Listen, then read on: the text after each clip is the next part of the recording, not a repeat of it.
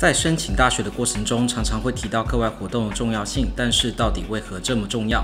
根据专家的经验来看，高中通常是学生探索新事物的最佳时刻。除了考试成绩跟学业表现之外，大学面试官也想透过更多资讯，通常是课外活动，了解申请者是什么样的人。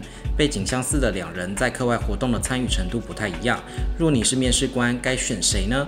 面试官希望看到学生真正投入、自己感到热情、有兴趣的课外活动，因为这代表你可能进了大学之后，依旧会延续参加这项活动，而且这项活动就是最能代表你的事。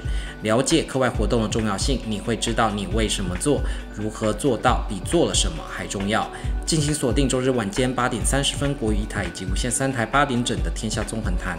课外活动是什么？为什么对申请大学如此重要？